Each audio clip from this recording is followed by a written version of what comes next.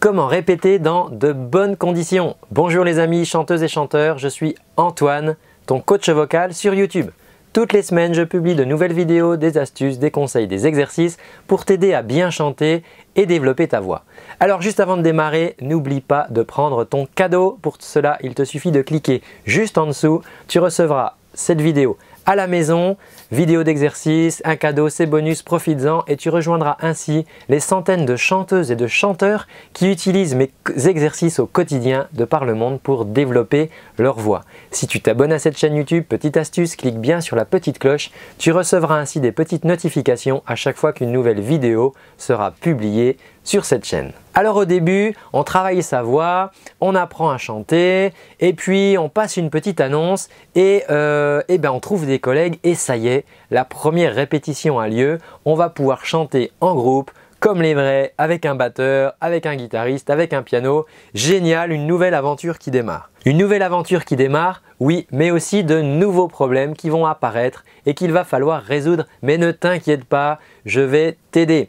Et oui, nouveau problème, pourquoi? Parce qu'une batterie, et une batterie, ça joue fort. Une guitare électrique avec un ampli, ça joue aussi fort. Chanter dans un micro, c'est pas évident. Bien s'entendre, gérer son son, gérer aussi le, le niveau sonore. On va voir tout ça ensemble dans mes conseils pour bien gérer une répétition. Alors on va passer tout de suite au conseil. Juste avant, si tu as des amis qui commencent à répéter ou qui répètent déjà en groupe mais qui se plaignent des conditions de répétition, eh bien tu peux leur partager cette vidéo, ça leur fera plaisir, ça les aidera et ça fera connaître aussi cette chaîne et mets aussi un petit pouce au passage, c'est parti pour le premier conseil. Alors la première chose à faire, c'est vraiment de bien gérer le volume sonore. Les amis, une répétition, c'est pas un concert. Donc on va pas du tout régler le son pareil.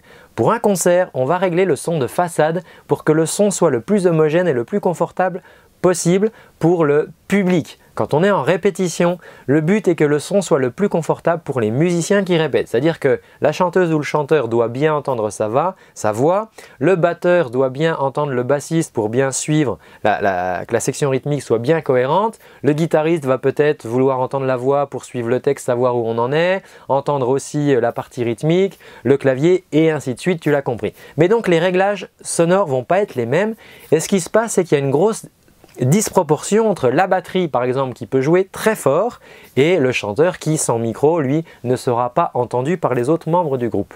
Donc on n'est pas là pour euh, mettre les volumes à fond si tu as des amis guitaristes dont euh, le passe-temps c'est de mettre l'ampli sur 10 pour que ça crache tes watts et eh bien ça, ça va pas être possible parce que c'est pas du boulot les amis. Le but d'une répétition c'est de caler, de bien jouer ensemble, donc de bien s'entendre et pas euh, de faire cracher les watts. On n'est pas en concert, on est là vraiment pour mettre au point les choses. Après tu pourras si tu le souhaites faire des filages ou des, résidences, des répétitions sur scène. Donc là le but ça sera de travailler le show et de travailler le, son sur scène. Mais la répétition qui est un calage, vraiment une synchronisation entre, entre tout le monde, et eh bien pour cela il faut que tout le monde s'entende et mon deuxième conseil pour ça, eh ben, ça va être bien sûr de bien amplifier ta voix. Ça serait vraiment une hérésie de faire une répétition sans amplifier ta voix. Pourquoi? Parce que déjà, tu ne vas pas t'entendre toi-même, parce que les autres instruments vont te couvrir, tu vas fatiguer. Et la deuxième chose, c'est que les autres ne vont pas t'entendre. Donc ils ne vont pas savoir si on est dans le couplet, dans le refrain, ou on en est dans la chanson, tout simplement puisque les musiciens peuvent se repérer par exemple à ton texte, même s'ils n'écoutent pas tout la plupart du temps, parce qu'ils vont plutôt écouter la rythmique, ils vont écouter les autres instruments. Mais voilà, c'est toujours bien de savoir ce que fait la chanteuse ou le chanteur pour se repérer où on en est dans la chanson et leur donner éventuellement des indications. Donc il faut absolument t'équiper d'un petit système d'amplification euh, ou bien euh, trouver des locaux qui ont un système d'amplification de manière à pouvoir bien t'entendre chanter pendant la répétition. Alors pour bien t'entendre pendant la répétition, tu as plusieurs solutions. Il y a une solution qui consiste euh, eh bien, à installer un retour. Donc ça c'est la solution on va dire un petit peu luxueuse. C'est quoi un retour? Eh C'est-à-dire que tu vas avoir un petit haut-parleur individuel qui va te permettre à toi chanteuse ou chanteur d'entendre bien ta voix. Donc les autres musiciens ils auront la sono pour entendre l'aspect général ou les instruments dont ils ont besoin. Mais toi tu auras un retour individuel qui te permettra vraiment de d'avoir ta voix un petit peu plus forte dans ce retour pour bien t'entendre sans, que ta voix ne surpasse non plus les autres instruments dans l'espace sonore.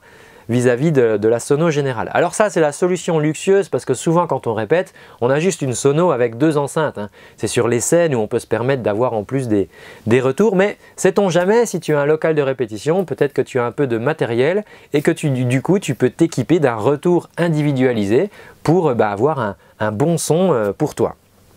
La deuxième solution que tu peux utiliser, c'est que puisqu'il y a deux enceintes dans la sono, eh bien tu peux tourner une enceinte vers toi, vers le chanteur, et l'autre enceinte vers les musiciens. Et en utilisant le panoramique, le panoramique c'est le réglage droite-gauche que tu trouves sur les tables de mixage.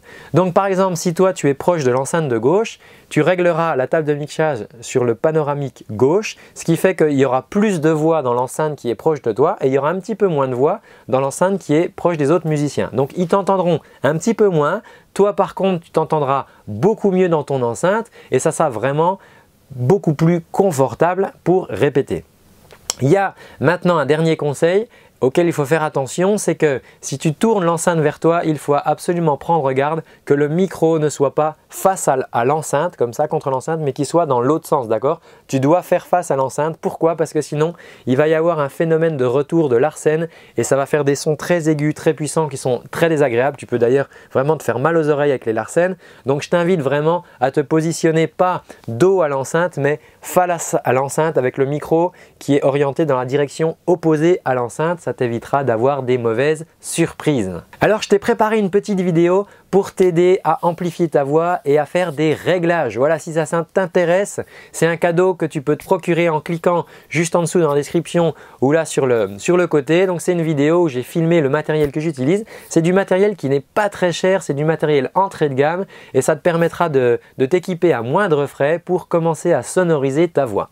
Voilà pour aujourd'hui les amis, n'hésite pas à t'abonner, à partager cette vidéo. Prends le cadeau, vraiment tu vas voir ce sera les bases pour mettre en place voilà, tes premiers matériels, micro et amplification pour bien t'entendre sur les répétitions.